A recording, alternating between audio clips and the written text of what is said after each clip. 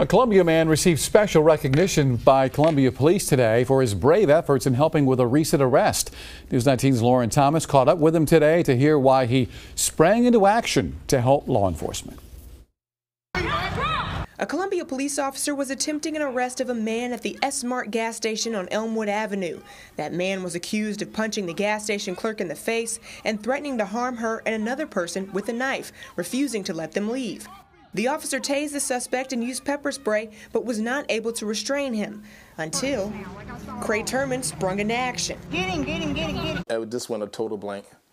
I saw I saw opportunity to go in and uh, to try to help this lady, and uh, I did. I didn't think about what could happen to me. Turman was walking to the gas station when he saw it all go down. I wouldn't normally do stuff like that, but my instinct, something, just, something inside me to say, just go.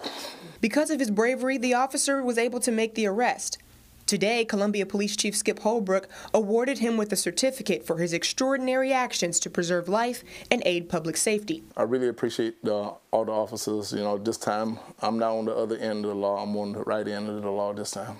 At one point in his life, Turman says he was on the wrong side of the law.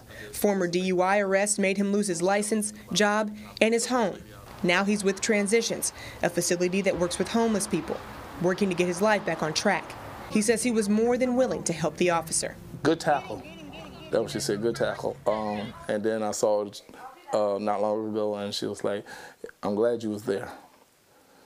And I was like, well, I'm glad I could be a help. In Columbia, Lauren Thomas, News 19, WLTX.